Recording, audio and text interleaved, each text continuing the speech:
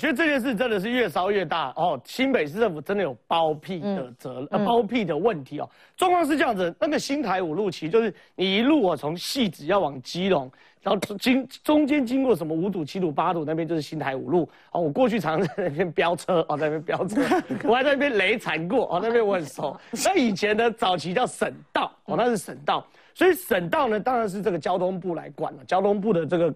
高速公路管理局来管，可是问题是哦，为什么在二零一四年的时候就逐步移交给新北市？嗯，因为那个时候新北市升格为六都，变成直辖市，所以那一块路哦，升格为直辖市之后呢，就直接由交通部的这个高高速公路管理局全部移交到新北市的养工处。所以你看哦，这个公文呢是在这边写的非常清楚，你仔细看哦，这交通部的公告哦，交通部的公告。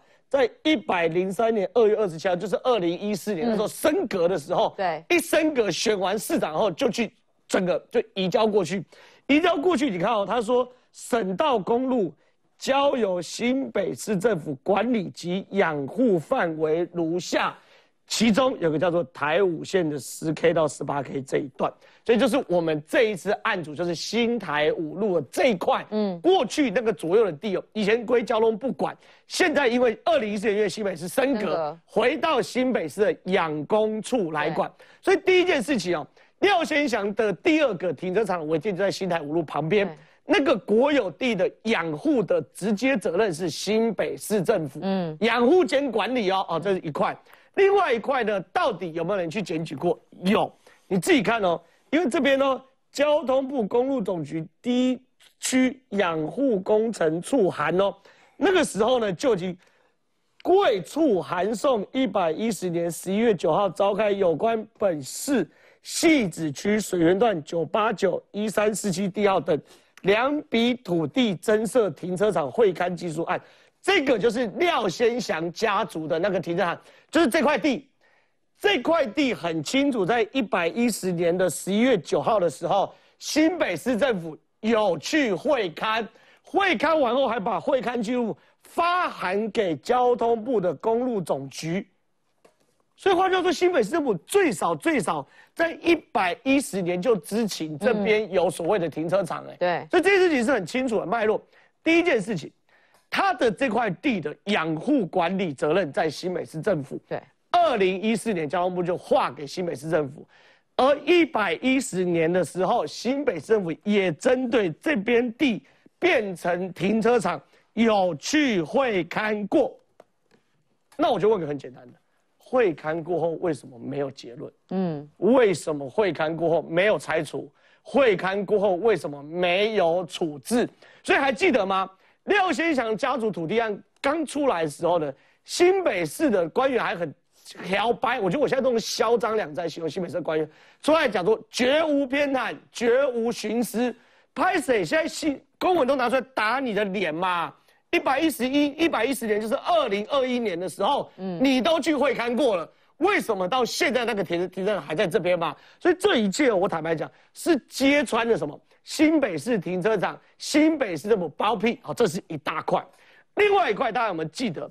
这个昨天周刊踢爆廖先祥家族的第二个停车场，对，那个停车场上面有电话，一个是廖先祥服务处的电话，对不对？对。另外一个电话呢是廖先祥爸爸的手机电话，廖先祥服务处的电话我今天打过去，我今天我打过去，哦，这个还是服务处接的，还是服务处接的，但确实就让他们讲没有再出租了。可是廖先说车位可以租吗？呃，对，我没有问，我我我我请王一川伪装成阿贝，然后操着这个的本土口音打过去问，哎，拍谁我经过看到我单位有没有租？啊，那个服务处阿姨说没有租，所以就真的没有租。那另外一件事情是。廖先祥爸爸就这个下面的他的手机哈，可以加他爸爸的赖，好，你可以试看看。你你可以都加，也可以加赖哦。没有，人家现在没有租了，不要如果有需要选民服务的话，就可以直接加赖。只是说你跟他爸要求选民服务，他爸会跟你比这个 三十万，不是 OK 哦。他现在不是说那个地是因为地主选民服务，他来帮忙。啊，对对对，那我我我刚都拿比赛，现在讲重点，我怕太早下班。现在讲重点，为什么那块地板有地主，对不对？对。为什么地主不自己做停车场？嘿，为什么要给他爸爸用？哎，我奇怪，我自己赚就好啦。我为什么要抽一手？比如说我四万租他爸，我只拿四万，然后这停车场净利是十五万，然后让他爸拿赚十一万，为什么？因为普通人水泥铺下去，交通那个基本上不就来了嘛？哦，如果我给议员当二房东的话，我就不用担心。对，这才是美感。这这这块地是有地主的嘛？嗯。为什么我地主不不不自己铺水泥？不自己弄栅栏？地主没有办法铺水泥。原因很简单，我跟你讲，我水泥不要讲铺水泥，我水泥车还没到，里长就电话就过来了。里长说，里长三姑六婆，这这这，然后然后然后隔天就来稽查了嘛？对。可是排谁？我租给议员，大议员，我就赚一点点租金，赚四五万。那后面铺水泥、管理、加赖，议员自己来处理，那这条才有可能变成停车场嘛。所以这才是美嘎之所在。为什么那个地主不自己用？嗯，为什么普普通人违停个十五分钟就被开单？为什么这边可以二十年没事？这就是美嘎嘛，所以我这样讲好了啦，这是百分之百的侵占国有地，而且侵占国有地盈利，这些都要坐牢的。我觉得最重要的是台北新北市政府的态度，它是窃占国有地，用国有地来出租，然后这通常如果是一般民众，如果你被查到的话，马上先送移送法办。先要求你，因为窃占罪的部分把你移送，然后再追讨你不当得利，要返还五年的所有的租金哦。但我今天看到这个事情，刚刚这个郑浩拿出来这个公文，其实我有点讶异。讶异的是什么？你知道吗？因为通常啊，中央在拨用给地方的时候，拨用土地给地方的时候，金平应该也知道，一定会什么？一定会先清点上面有什么东西有没有占用，如果有占用，一定要先排除。我中我地方才会去接你中央要拨给我的地，就单单的就是说我被拨这一块土地给你，对不对？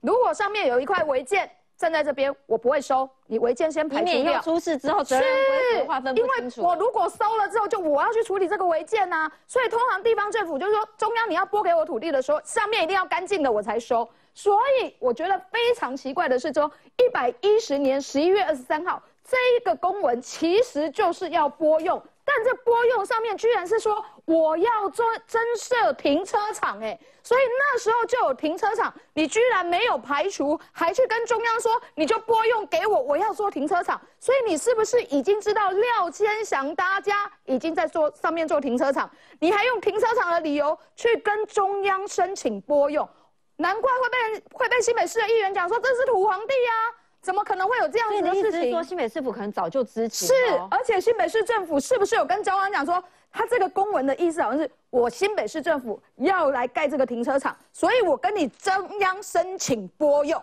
啊，所所以我就不用移除了，你知道吗？就是我自己要做的嘛，我新北市政府要做的土地啊，要做的停车场啊，所以我可以给你中央申请这块土地来。